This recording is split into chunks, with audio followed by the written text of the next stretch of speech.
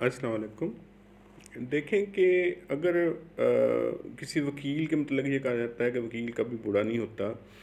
और जब वकील बुरा होता है तो उसकी जो वकालत है आ, वो उसकी वो बूस्ट करती है। तो मैं कहता हूँ कि वकील उस वक्त बुरा होता है जब उसका उसमें लर्निंग जो शक्ति होती है लर्निंग पावर है वो ख़त्म हो जाती है। तो आज का जो मेरा वीडियो है वीडियो लेक्चर जो है, वो इस बारे में है कि मैं एक दिन एक जगह से गुजर रहा था तो पुलिस ने वहाँ पर बैरियर लगाए हुए थे और एक मखसूस रास्ते को पर लोगों की आमदरफ्त को रोका हुआ था। या पुलिस जो है, कई दफ़ा आपने देखा होगा कि रास्ते में बैरियर लगा कर जो है, वो तलाशी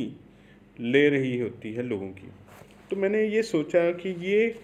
कानून तो देखना चाहिए कि किस कानून के तहत पुलिस के पास पावर है कि वो बैरियर लगा कर एक शारा आम गली या सड़क को रोक दे या फिर किसी मखसूस जो जगह की तरफ़ जो है वो लोगों की तरफ़ बंद कर दे तो उसका ला तलाश करने की कोशिश की। तो ये ला जो था, ये पुलिस ऑर्डर 2002 का ऑर्डर 124 है, जिसके तहत पुलिस जो है वो बैरियर लगा सकती है सड़कों वगैरह में और उसके बाद है किसी इशारे आम पर में जो है ना वो लोगों का दाखिला जो है वो ममनू कर देती है तो वो इस कानून के तहत करती है कि लोगों को रोक कर जैसे आपने देखा होगा ना कि तलाशी पुलिस ले रही है, रोक रही है, गाड़ियों को भी पुलिस इसी व्हीकल जो होती हैं, वो भी इसी कानून के तहत आपने देखा होगा कि अक्सर ऐसा होता है कि एक सड़क पर पुलिस जो है वो लोगों को ये बैरी लगा कर वहाँ पर बोर्ड भी लगा देती है, यहाँ पर यहाँ पर, या फिर ये होता है कि वहाँ पर पुलिस मुलाजम खड़ा होता है जो लोगों को कहता है कि आप गाड़ियों को जो है ना वो किसी और रस्ते की तरफ़ ले जाए तो वो इस कानून के तहत होता है। तो कोई भी ऐसा काम आपके सामने हो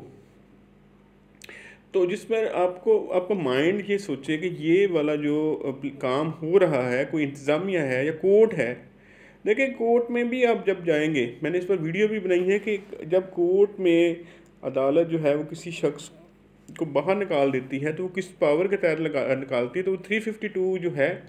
वो सी आर पी सी के तहत आती है। कोई भी काम होता है, अदालत कई दफ़ा किसी शख्स को, जो पेश हुआ होता है, उसको कहते हैं कि इसको पकड़ लें, वो थ्री फिफ्टी वन के तहत है। तो कानून आपको सीखना है ना तो आपका जो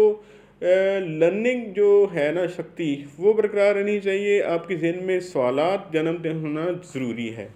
जब तक आपके जहन में सवाल जन्म होंगे आप कानून सीखेंगे। आम लोग दोस्त भी जो हैं, आम पब्लिक भी जो इस मेरे लेक्चर को देख रही है तो वो भी कानून से आगाही जो है ना, वो हर शख्स को लेनी चाहिए। अपने जो है ना, उसको अपने जितने राइट्स है, उससे उसको आगाही होनी चाहिए। फंडामेंटल राइट्स है कि देखिए कि हर शख्स के मतलब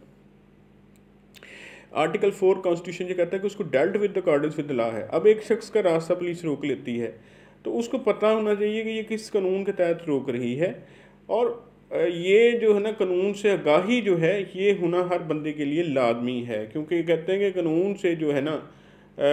लालमी जो है ना वो उज़र नहीं कल को माना जाता। जब आप कोई जुर्म कर लेते हैं और आप ये कहेंगे, जी, मुझे तो पता ही नहीं था कि ये जो मेरा एक्ट है,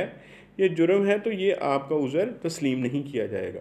तो thank you so much for watching my YouTube channel आप मेरे चैनल को सब्सक्राइब करें और मेरे एफर्ट के बारे में मुझे ज़रूर बताएँ. Thank you so much